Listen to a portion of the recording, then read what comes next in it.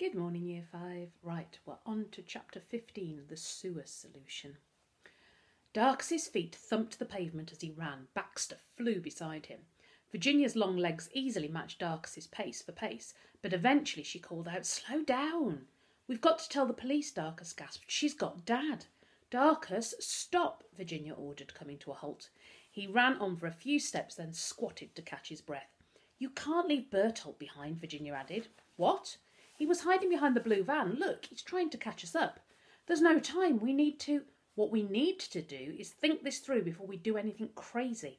How do we know the police will help us? They haven't so far.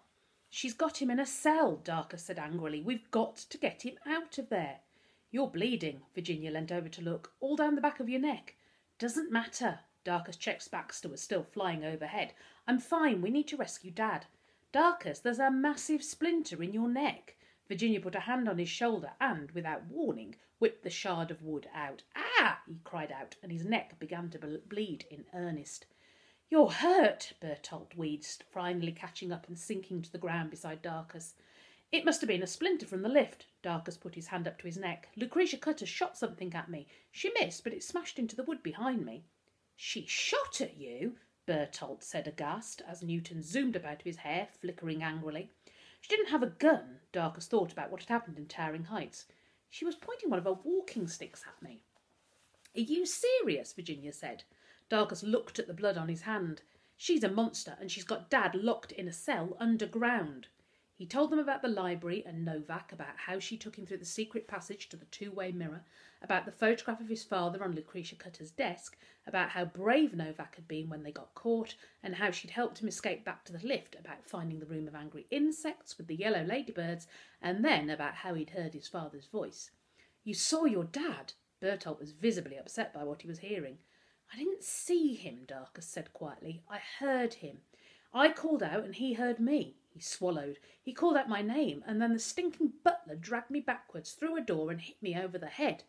That stinking butler may have saved your life, Virginia pointed out. What about the beetles? The beetles? The beetles, Bertolt asked. Why does she want them? I still don't know, Darkus admitted. She said something about them belonging to her and wanting them back. She wants to keep them secret. She said she wasn't ready yet, but I don't know what that means. And then she said she wouldn't let anyone stop her. Darkus paused.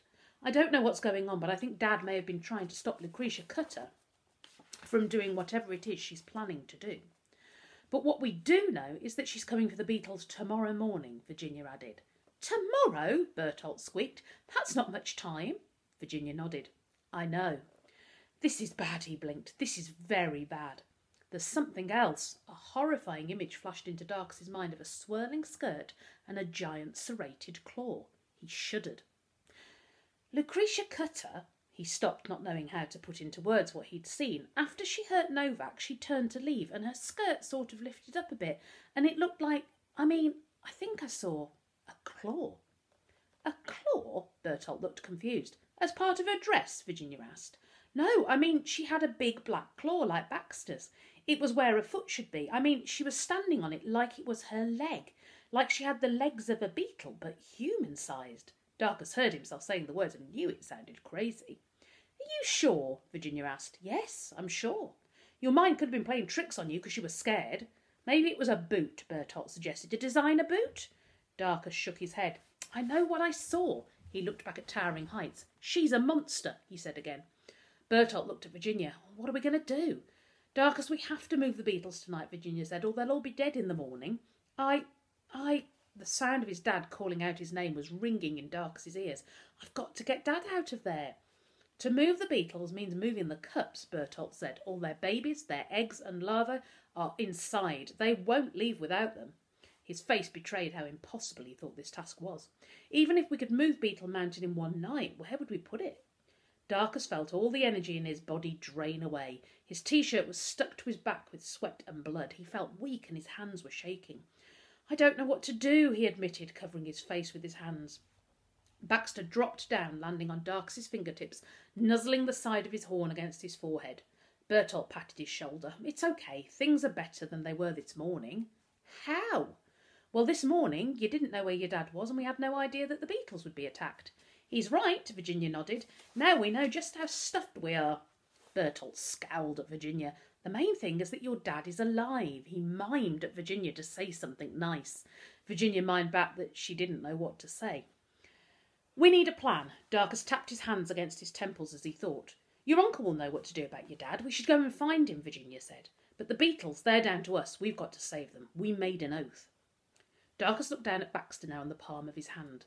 If Lucretia Cutter says they're hers, Bertolt said, thinking out loud, then perhaps she bought them through a special insect dealer. But then surely they'd have arrived dead with pins in, Virginia said. The real question is, why does she want to keep them a secret? Do you think she knows about their, um, special abilities? Bertolt looked at Darkus. Darkus nodded. I think that's why she wants them, and it's their abilities she wants to keep a secret. Because she's not ready yet. Virginia stroked her chin. This may sound crazy, but if the beetles belong to her, is it possible she's making beetles with superpowers? You said she had a room full of angry beetles in there, and a laboratory. How on earth do you make a super beetle? Bertolt scoffed.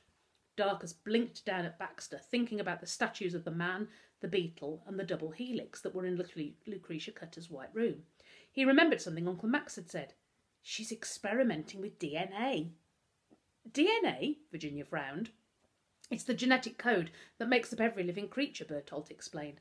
I know what DNA is, Virginia retorted. Uncle Max said that when Lucretia Cutter knew Dad, she was a geneticist. Bertolt held his hand out for Newton to land. He cupped his glowing body to make a lantern. Do you think our beetles are clever enough to escape from her laboratory? I don't know, Darkus shrugged. Maybe, but why would Lucretia Cutter want to make super beetles?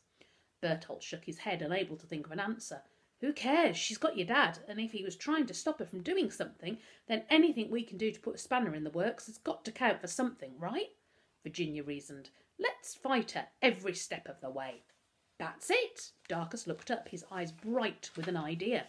It is? Bertolt smiled hopefully.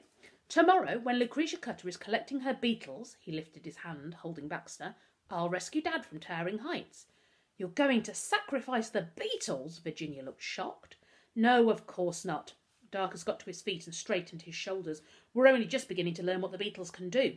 He thought about the angry beetles in Towering Heights and held Baxter out in front of him. I think we should convince the beetles in the mountain to stand their ground, to fight. What do you reckon, Baxter? The rhinoceros beetle bowed his horn, and Darkus felt a thrill of defiance in his chest. Good. And if I'm right, when Lucretia Cutter arrives, there'll be a beetle army waiting for her, and that's the last thing she'll be expecting.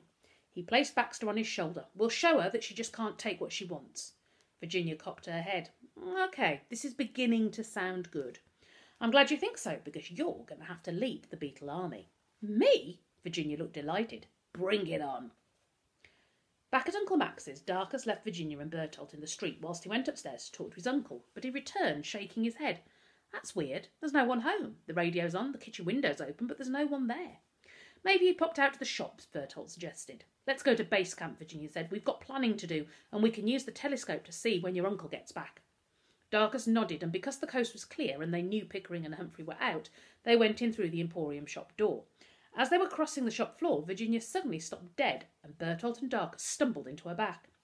I'm a genius, she said, her eyes wide with excitement. I've just had a brilliant idea. Follow me. Moments later, they found themselves outside the toilet looking at the manhole cover. Virginia had seen the first time she'd explored the shop. What if we moved the beetles below the city, to the sewers, she said. No one would ever know that they were there. Let's try and lift it. Darkus bent down and grabbed one of the handles. The three of them heaved the heavy circle of metal to one side. The faint breath of sewage wafted out of the yawning black hole, making Bertolt's nose wrinkle. Virginia pulled a keyring torch from her pocket. Look, there's a ladder in the wall. She put the torch between her teeth and stepped onto the embedded iron rungs. I'm going down. Darkus dangled his legs through the hole until there was room for him on the ladder. The shaft of light from above showed him the shadowy outlines of a cavernous brick chamber. The air was damp with the unsavoury tang of ammonia and slurry clay. A perpetual dripping sound accompanied his descent, and when he reached the ground he saw shallow puddles everywhere. What do you think, Baxter? Darkus asked as he stepped off the ladder. Baxter flew off to take a look around. Virginia was already exploring a man-sized archway on the other side of the room. Darkus set out across the floor to join her. Wait for me, Bertolt called anxiously from the top of the ladder. Newton rose out of Bertolt's hair and lit up the rungs for him. Thank you, Newton, Bertolt said, steadying his shaking hands and smiling at the firefly. Through the archway was a giant tunnel the height of five men, its brick walls covered in lichen and limescale. Oozing along the middle of the floor was a pea green stream. In the distance, Darkus could hear the thunderous rumble of falling water. This place is cool, he said. It's perfect, Virginia said proudly. I wonder if there's a room like this below each shop. She peered across the tunnel to a similar archway opposite. Baxter seems to like it. Darkus pointed to the rhinoceros beetle, who'd left his perch on his shoulder and was climbing the tunnel wall. Well, beetles don't mind a bit of sewage, do they? Virginia shone the torch back into the chamber below the ladder. Bertolt was gingerly picking his way across the floor. Some beetles love sewage. Darkus grinned, thinking of the dung beetles. But there's no sewage in the chamber, just puddles of water. It's perfect. No one will know Beetle Mountain is here except us. It's disgusting, Bertolt complained as Newton flew in loops above his head, glowing happily. It stinks. So now all we have to do is work out how we're going to get Beetle Mountain down here, Virginia said. Leave that to the beetles, Darkus replied, thinking back to how Baxter had pushed his mug up against the wall of his tank. They might be small, but they're strong, and there are loads of them. Anyone who's seen Beetle Mountain will know it just can't vanish, Virginia pointed out. How do we stop Humphrey and Pickering from going to look for it? That's a good point. Darkus scratched his head. Lucretia Cutter's offering them a lot of money. They aren't going to be happy when the beetles suddenly disappear. Actually, Bertolt coughed, I may have a solution. Virginia and Darkus looked at him.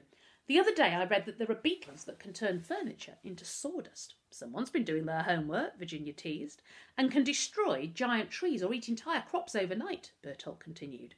So? Darkus asked. Well, I was thinking we could employ those talents to make this building a bit unsafe. He blinked. How unsafe? Darkus asked. Definitely too unsafe for Humphrey and Pickering to be able to live in it any more.